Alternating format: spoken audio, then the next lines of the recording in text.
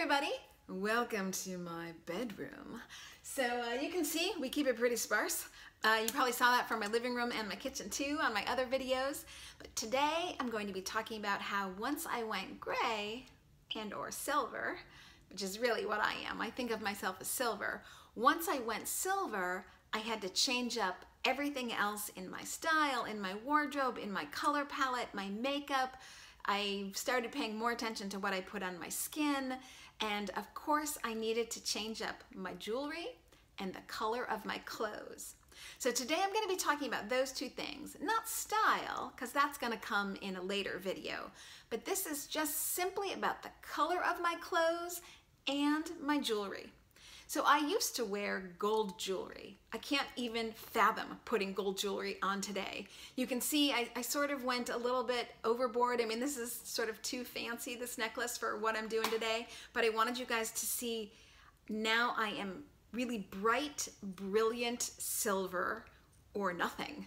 But gold is just not the right color palette for me at all. So, you know, I got these earrings the other day, which I like, and I'm trying to go bigger as well. So this is a huge step for me.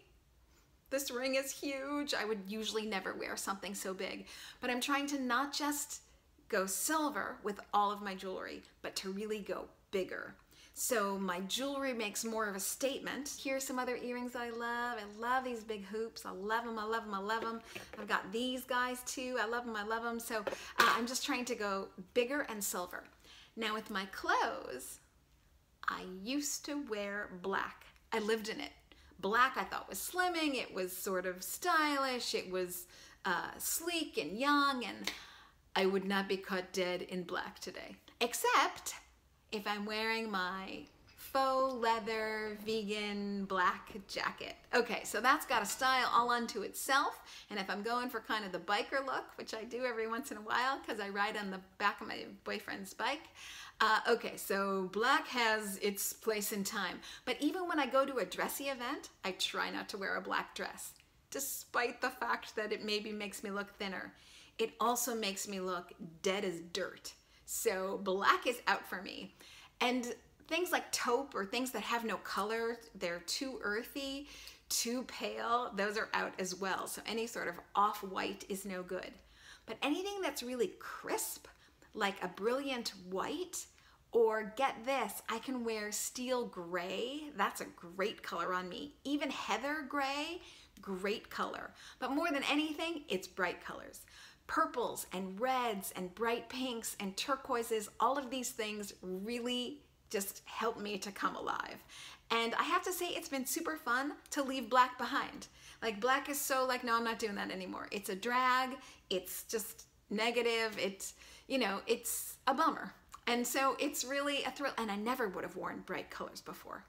But it's a thrill to be in bright colors. I just feel like it brings a lot more energy and sunshine to my game.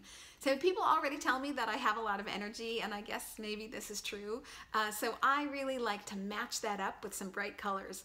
And when you look at my closet, like how it used to be all black, huge difference now when I've just got color, color, color but you don't want to embarrass yourself by not pulling off the right style. So a lot of it just depends on you and your comfort zone. I know um, I've taken to wearing orange pants. Yes, I have. I have a pair of orange jeans that I love. Uh, so, you know, there's some fun styles you can uh, really shine. And uh, of course, a lot of it is your mental tude that you bring to the style, but you guys already know that. So uh, I think I hope you enjoyed my last couple of videos. I was saying how nobody ever talks about that you just might rock your game better at silver or gray.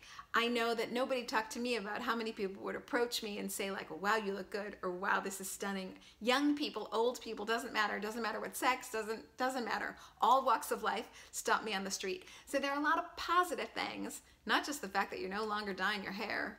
Sweet Jesus, we don't want to be doing that anymore. But also just people around you notice like, wow, girl's got a new game and that's super fun. So uh, until I see you guys next time, thanks for watching. Please send me your tips. I'm still trying to work on the hair, so I haven't quite figured it out yet. Help me, baby, help me. Help me get a new, I don't know, I gotta change up my hairstyle. I'm still working on that.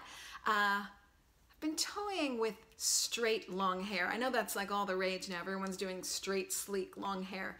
just doesn't really look good on me. But okay, so I'm still trying out the hair thing. So keep me posted uh, on that and anything that you guys are doing. If you've got color tips for your clothes and if you've got jewelry tips, of course, send them my way. It's always an open dialogue. Thanks for watching, people, and don't forget to be vegan. For more information, you can find everything I do, yep, on iTunes, yep, on YouTube. So right here, this YouTube channel, subscribe, subscribe. And then of course my website, elysabethalfano.com. And Elysabeth is spelled kind of funky, so it's E-L-Y-S.